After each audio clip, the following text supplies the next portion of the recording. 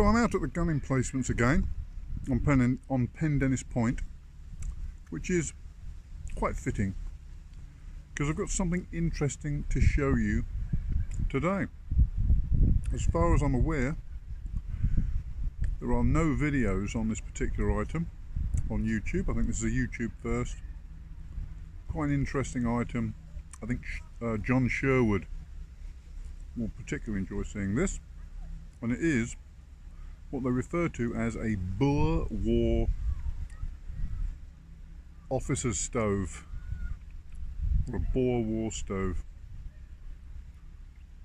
Like the sound of that? Stay tuned.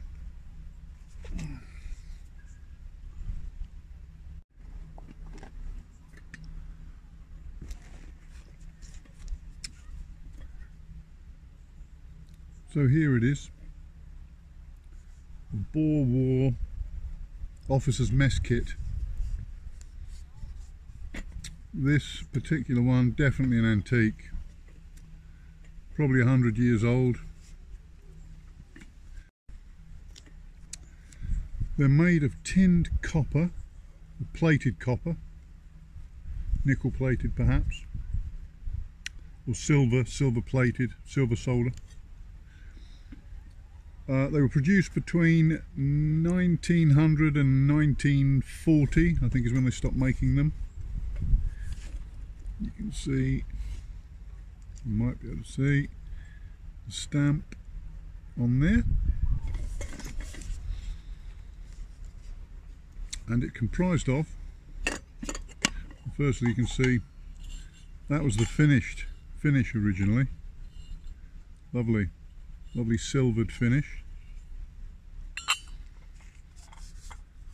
So it comprised of the cup, beautifully made pot stand there, a little bit decorative. You can see again, silvered, copper or brass, I'm not sure. And a little alcohol stove within, little alcohol burner. It took me a little while to figure out how these worked and I'm going to do go through that. I'm going to light it up and do something with it today. This is the snuffer. I believe that had a little um, leather washer in there originally perhaps to make a seal here to hold everything in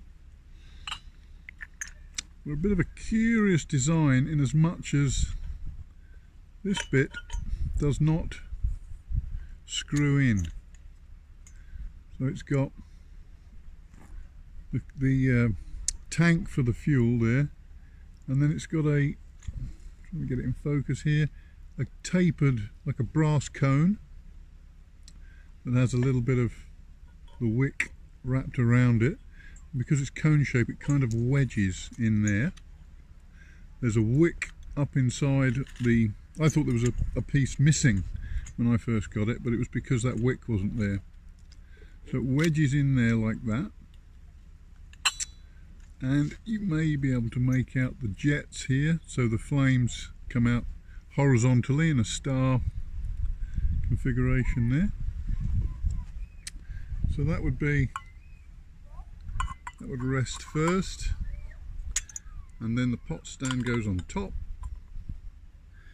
And then the mess cup. You can see it's still silvered on the outside there. It's been over cleaned this one I think in its life and its history. I was very lucky to come across this. Anyway so that sits on there. Lid on the top. And away you go.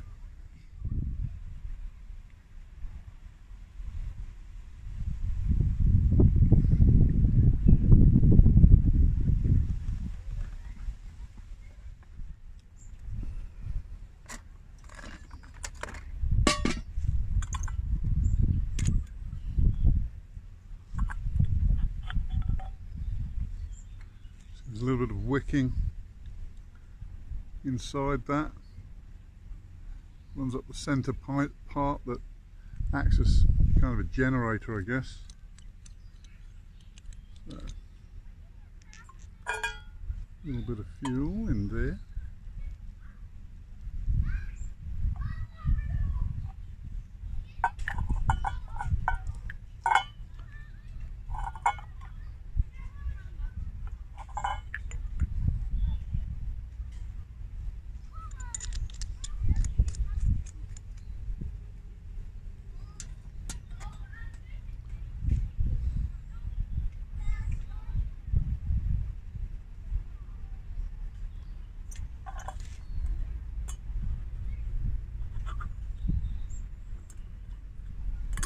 it down there till it wedges. So you've got that outer wick that wedges the centre part in and that's obviously soaked with fuel. So like that bit.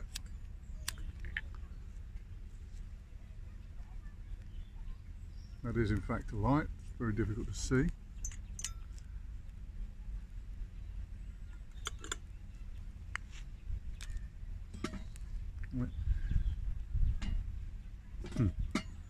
And has in fact bloomed already.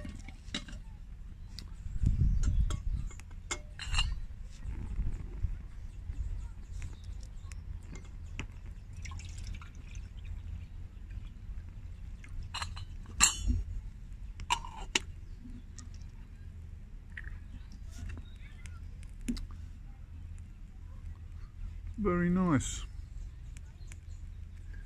What a charming little thing. So we're going to make a nice cup of tea, befitting of a British officer of the turn of the century, early 1900s. They call it the Boer War um, officer's mess kit because it was produced from 1900 to 1940 so it would have been would have seen some service during the First World War I'm sure some of them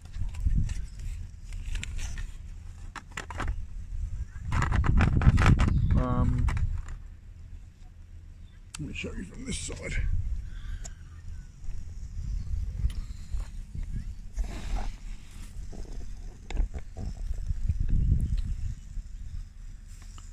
And the Boer War was 1899 to 1902. That's the second Boer War. There was two of them. And there she is. I'll see if I can take some footage when the light isn't quite so bright so that uh, you get an idea of the flame pattern of it.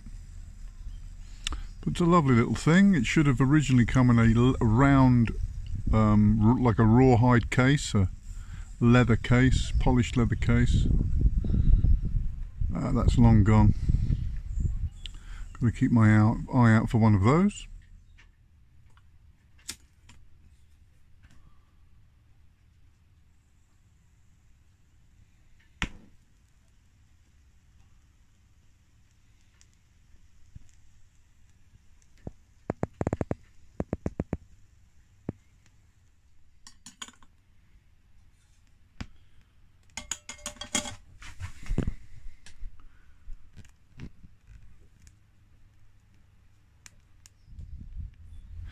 This was around before the invention of the tea bag. So we, of course we're going to use a fine loose leaf tea in the tradition. So we're going to make a nice cup of tea in our enamel mug, which is definitely period appropriate. Um, the British Army had these white mugs it seems that they were issued with these um, First World War and before. So they were popular, they were a popular issue, and later on, in the Second World War, they were a kind of a muddy brown enamel. I don't know why they were issued white at first, maybe it was a cheaper form of enamel. Um, enamel cups are great. John Sherwood asked me that one that I usually use, which is a green one, whether it was a Russian issue one. And it's I, I've no idea. I, I got it in a hardware in Trinidad, but where its source was before that, I don't know. But the the issued one was a pint. That green one of mine is a pint. This is actually three quarters of a pint, which is far more dainty and appropriate for a, for an officer's cup of tea, I think. So And of course the good thing about an enamel mug is, you know, it's got that nice rolled lip. So it's as you it feels like you're drinking out of porcelain. And they're a bit more uh, durable. So I think they're good, I don't knock them. Bit of a bit old school, but they're nice. So I'm gonna have some a nice label's fallen off of this I think but this is a nice Earl Grey tea. And I'm going to staying in period there I'm going to use some evaporated milk. Evaporated milk was used by well it was used in the Civil War tinned evaporated milk so that was definitely around.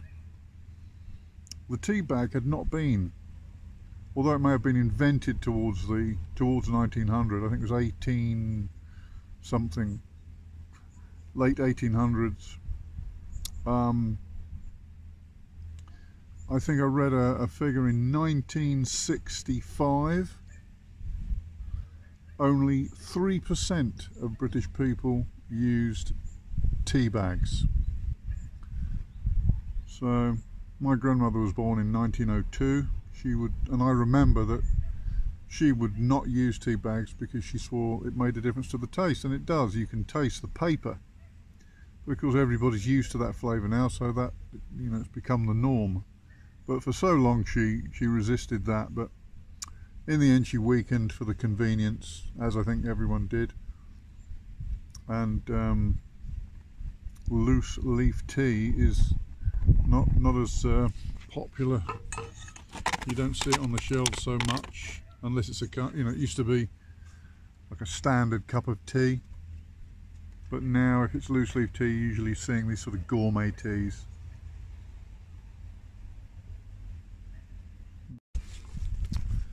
so according to the information I can find the British soldiery of the time were allowed 5 eighths of an ounce of loose leaf tea a day.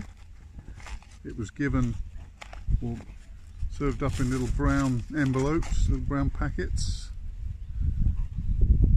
So I think uh, well it would be one one teaspoon and one for the pot. This by the way is far bigger than a teaspoon. A teaspoon's about half that size, proper teaspoon.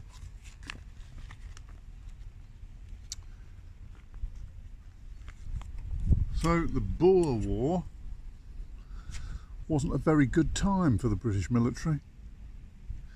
They were still getting the armies to stand up in red coats with white crosses on them. The webbing was white and the coats were red. Uh, but the Boer War was when the first sort of introduction of camouflage, camouflage was starting to be adopted not everywhere there but in many places when finally people changing from the old ways of of doing battle and adopting to the modern ways okay I do believe we're boiling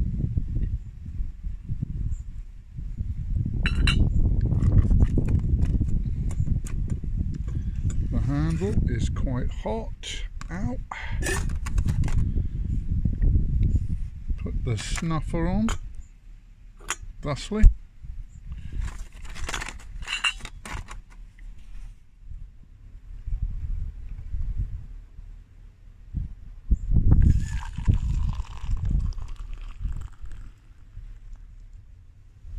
So evaporated milk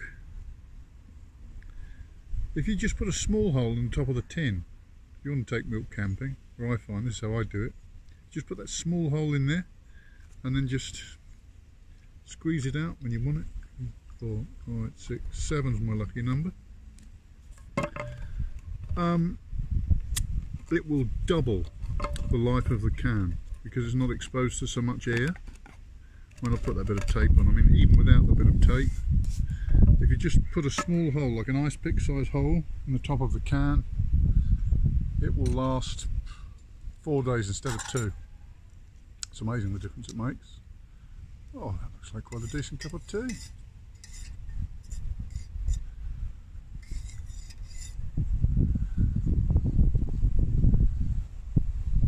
So there it is. The Boer War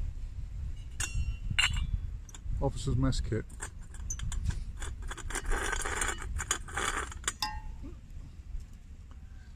Bit of a posh canteen cup Tuesday.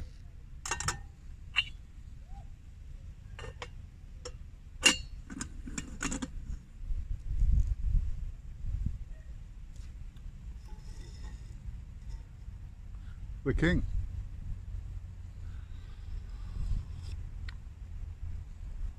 Mm. Quite pleasant.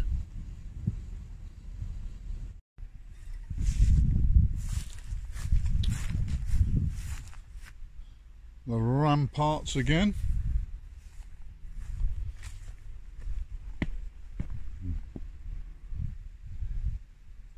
Decent colour. Nice cup of tea. Mm.